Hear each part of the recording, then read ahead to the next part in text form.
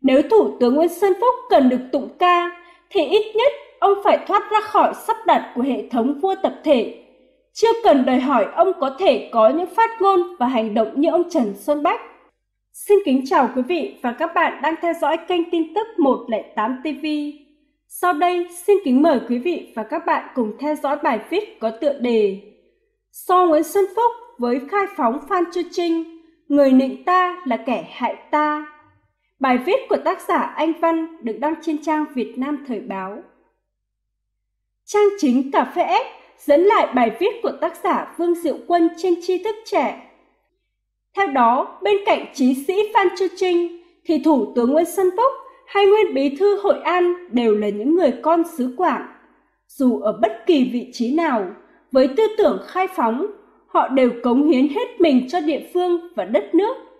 Liệu đây có là một đánh giá đúng mực hay đơn thuần chỉ là một lời ca tụng mang tính sát thương đối với người được khen?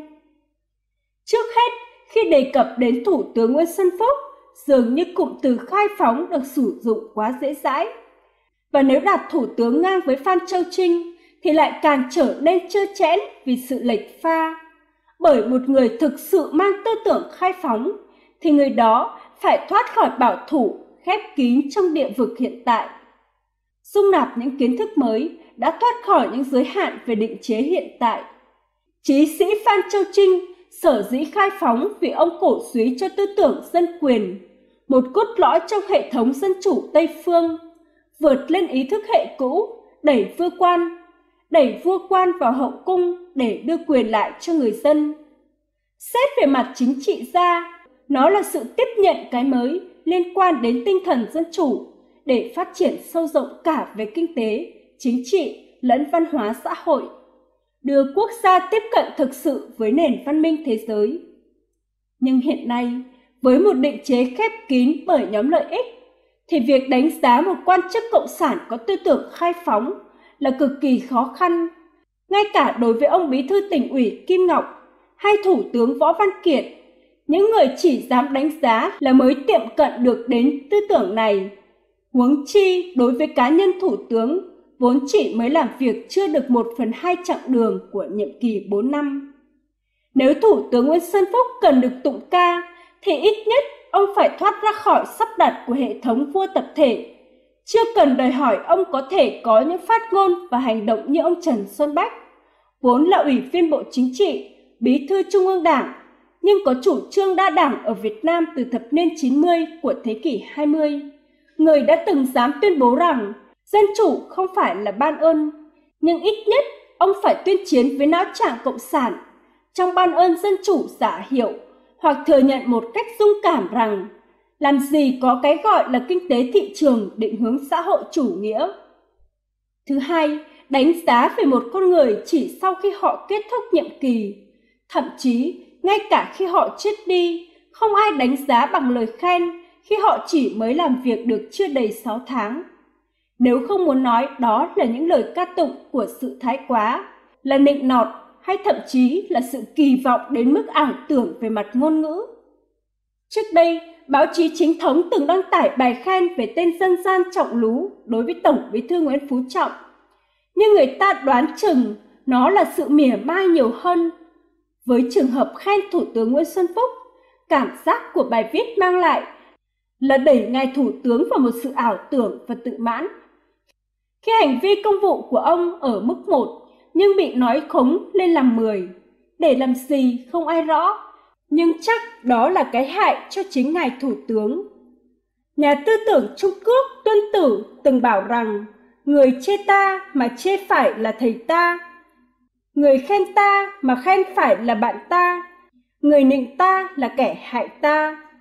Ba năm trước đây, truyền thông trong nước dẫn lại nội dung của báo Korea Herald, Hàn Quốc, nơi đăng tải bài viết ca ngợi sự lãnh đạo tài tình của Thủ tướng Nguyễn Tấn Dũng, cho rằng ông là một biểu tượng lãnh đạo ở châu Á.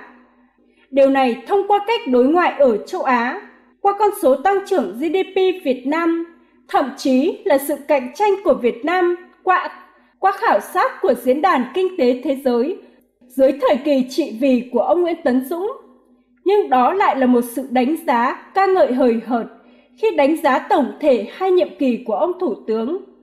Biểu tượng lãnh đạo châu Á đã để lại một nền kinh tế thâm hụt ngân sách và sự phát triển không bền vững về kinh tế, yếu tố dân chủ, nhân quyền bị bóp ngặt. Chỉ còn lại những lời nói hoa mỹ về chủ quyền, nhân quyền và kinh tế chưa bao giờ thành hiện thực. Trở lại với cá nhân ông Nguyễn Xuân Phúc, đánh giá vì sao ông được lựa chọn cho cái ghế thủ tướng. Giáo sư Carter, một nhà nghiên cứu và phân tích chính trị Việt Nam và bang giao quốc tế, chia sẻ với BBC Việt ngữ vào tháng 4 năm 2016. Theo đó, Đảng Cộng sản Việt Nam đã thận trọng và cũng chưa sẵn sàng cho những lãnh đạo trẻ hơn và năng động. Và Thủ tướng Nguyễn Xuân Phúc hiện diện vì ông là người chơi lối chơi tập thể, là một người của hệ thống đó. Kính thưa quý vị và các bạn, vừa rồi là bài viết có tựa đề So Nguyễn Xuân Phúc với khai phóng Phan Chu Trinh, người nịnh ta là kẻ hại ta. Bài viết của tác giả Anh Văn được đăng trên trang Việt Nam Thời báo. Xin cảm ơn quý vị và các bạn đã chú ý lắng nghe. Các bạn nhớ subscribe kênh tin tức 108 TV để được nhận thêm nhiều hơn nữa những thông tin mới nhất về hiện tình Việt Nam. Xin kính chào quý vị và các bạn đang theo dõi kênh tin tức 108 TV. Sau đây, xin kính mời quý vị và các bạn cùng theo dõi bài viết có tựa đề Niểu lại nổ văng miệng tại Bắc Ninh. Bài viết của tác giả Dân Đen được đăng trên trang Dân Làm Báo. Nguyễn Xuân Phúc, Thủ tướng Chính phủ Cộng sản Việt Nam vừa có buổi thăm và làm việc tại tỉnh Bắc Ninh nhân dịp kỷ niệm 185 năm ngày thành lập vừa diễn ra vào tối ngày 12 tháng 2 năm 2017. Kể từ ngày nhậm chức Thủ tướng Thiên đường Xã hội Chủ nghĩa Việt Nam, đúng quy trình đảng cử dân bầu sau Đại hội Đảng 12 của Cộng sản Đảng. Nguyễn Xuân Phúc đã trở nên nổi tiếng với hình ảnh thủ tướng có chiếc đầu niềng. Sự nổi tiếng của Phúc Niềng đã lan xa, bay xa trong các diễn đàn quốc tế với phong cách trợ trời cũng như các phát biểu hết sức ấn tượng theo kiểu CLMV. Mang động phong cách rất riêng với cái đầu niệm. Nguyễn Xuân Phúc luôn mong muốn đầu phải là một bộ phận cần nhắc tới nhiều trong các buổi thăm, làm việc, vi hành. Vì thế, trong nhiều diễn văn được Phúc đọc mỗi khi làm việc ở các địa phương, ông Thủ tướng Niệm này luôn mong muốn yêu cầu chỉ thị các tỉnh thành phải là đầu tàu, nào là Bình Dương phải là đầu tàu kinh tế của cả nước, thành phố Hồ Chí Minh xứng đáng là đầu tàu kinh tế của cả nước, rồi thì Thủ tướng kỳ vọng Quảng Ninh sẽ là đầu tàu kinh tế của cả nước. Hầu như tại các buổi làm việc về vấn đề kinh tế tại các tỉnh thành, Nguyễn Xuân Phúc luôn nhắc đến cụm từ đầu tàu kinh tế. Tiếp rằng, cái đầu tàu nào cũng niềng như cái đầu của ông Thủ tướng Cộng sản, cho nên bề trên của Phúc Niềng là trọng lú vẫn phải hỏi những thua lỗ của doanh nghiệp nhà nước do đâu và vì sao. Tỏ ra là một cái đầu niềng có tầm nhìn kinh tế. Đồng chí niệu Xuân Phúc đã chia sẻ với cử tri Bắc Ninh. Bước sang giai đoạn mới, có nhiều cơ hội thuận lợi và thách thức đan xen.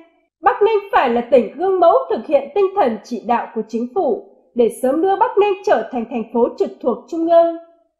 Thủ tướng niệu còn nhấn mạnh, tầm nhìn đó phải được kết tinh từ cội nguồn văn hóa, lịch sử, từ tâm hồn, cốt cách và khát vọng vươn lên của các cấp ủy đảng, chính quyền cộng đồng doanh nghiệp và nhân dân toàn tỉnh. Có lẽ quá cao hứng trong bài diễn văn của mình, Thủ tướng Phúc Niệm đã cho rằng Bắc Ninh sẽ trở thành biểu tượng sự chuyển mình mạnh mẽ của Việt Nam trong lĩnh vực công nghiệp điện tử công nghệ cao nói riêng và nền kinh tế sáng tạo nói chung ở ASEAN và châu Á. Vì thế, Điểm Thủ tướng đã đề nghị Bắc Ninh chú trọng áp dụng các công nghệ tiên tiến như các ứng dụng đám mây điện toán, chính quyền số trong quản trị nhà nước, quản lý xã hội để Bắc Ninh trở thành một đô thị hiện đại thông minh, đẳng cấp khu vực và thế giới. Được biết trình độ giáo dục phổ thông của Niệm Thủ tướng là 10 trên 10, sau đó tốt nghiệp cử nhân kinh tế trường Đại học Kinh tế Quốc doanh Hà Nội. Vì thế, trong phần phát biểu có đoạn nói về công nghệ, ứng dụng, thì Niệm Thủ tướng tỏ ra quá lạc hậu. Vì các ứng dụng đám mây hay những đô thị thông minh đã được các nước tư bản dễ chết phát triển đến mặt trăng, đến sao hỏa rồi, Bây giờ đồng chí Niềng Thủ tướng mới yêu cầu áp dụng, lại còn ảo tưởng trở thành đẳng cấp khu vực và thế giới thì đúng là đã niệm lại còn nổ. Trước đây trong nhóm CLMV thì V là một quốc gia có nền kinh tế phát triển nhất. Tuy nhiên, dưới sự lãnh đạo tài tình của Đảng và Nhà nước Cộng sản, thì quốc gia có chữ đầu tiên là V, nghĩa là Việt Nam, đã bắt đầu nhường vị trí dẫn đầu cho ba nước C là Campuchia, L là Lào và M là Myanmar. Vì thế, những ngày đầu năm Đinh Dậu vừa qua, hàng trăm người tại Nghệ An đã vất vả chờ trực để làm thủ tục xuất khẩu lao động. Trong số đó, có rất nhiều hồ sơ đăng ký xin xuất khẩu lao động tại Lào và Campuchia. Đây được xem là một nỗi nhục quốc thể vì những nước này trước đó thường xuyên nhận viện trợ từ Việt Nam. Nay chính người dân Việt Nam phải xin được làm việc cho đất nước của họ. Đầu năm Đinh Dậu, xin nhắn gửi với Thủ tướng Nguyễn Xuân Phúc đôi lời rằng Thủ tướng Phúc Nhiệm hãy bớt nổ, bớt ảo tưởng và đừng có đi đến đâu cũng gào thét phải là đầu tàu. Ở xứ Cộng hòa xã hội chủ nghĩa Việt Nam chỉ có một cái đầu tàu, đó là tàu cộng đi đầu trong tất cả mọi thứ. Nếu Thủ tướng có thể làm thẳng lại cái đầu vốn đã niểng của Thủ tướng, thì khi đó người dân sẽ tin ông không phải là thú, và khi ấy tỉnh Bắc Ninh biết đâu sẽ trở thành biểu tượng trong kỳ vọng của ông và của Đảng Cộng sản, một đảng cầm quyền toàn thú, bởi ở đó lúc nhúc hơn 4 triệu con chuột trong một chiếc bình. Kính thưa quý vị và các bạn, vừa rồi là bài viết có tựa đề Niềng lại nổ văng miệng tại Bắc Ninh. Bài viết của tác giả Dân Đen được đăng trên trang Dân Làm Báo. Và tiếp sau đây, xin kính mời quý vị và các bạn cùng theo dõi bài viết có tựa đề Phúc nổ, bài viết của tác giả Tưởng Năng Tiến. Thủ tướng Việt Nam có lẽ đang hào hứng lắm với những công việc của chính phủ, nên ông đã liên tiếp phát ngôn những mỹ từ khoa trương, tối nghĩa và bay bổng hoàn toàn không đúng lúc.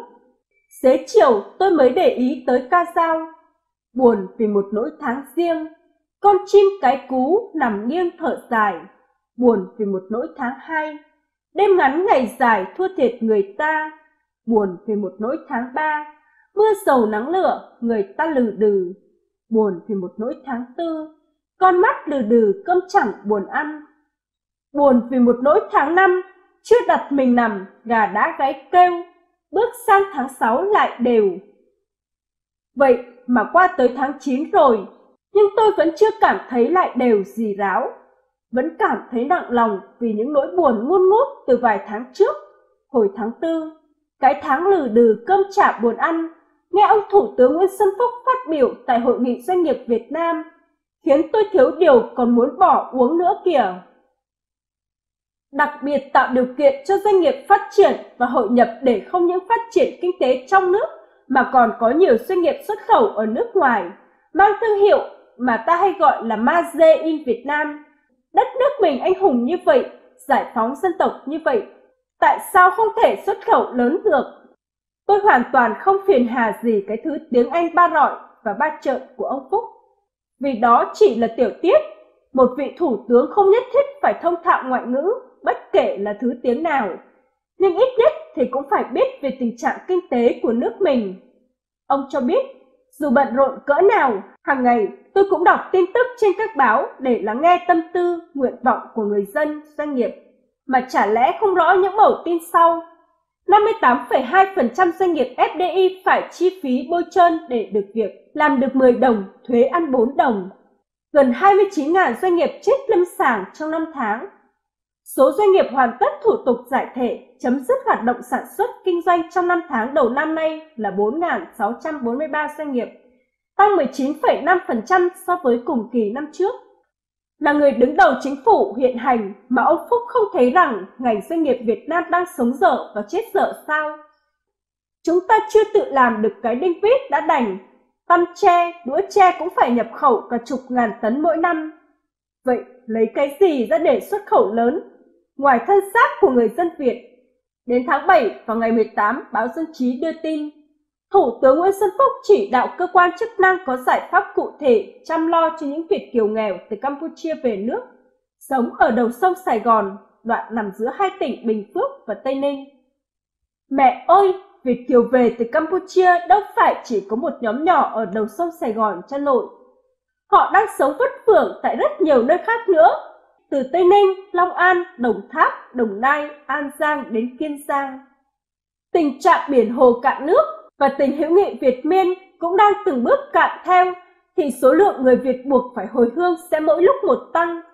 Theo luật lệ hiện hành của Việt Nam thì những người Việt không có một manh giấy lệnh lưng này sẽ phải chờ 20 năm sau mới được nhập tịch nếu họ được cấp giấy chứng minh thư và hộ khẩu. Và không có quốc tịch thì họ sẽ không có việc làm, không được hưởng bất cứ phúc lợi xã hội nào. Con cái cũng không được đến trường.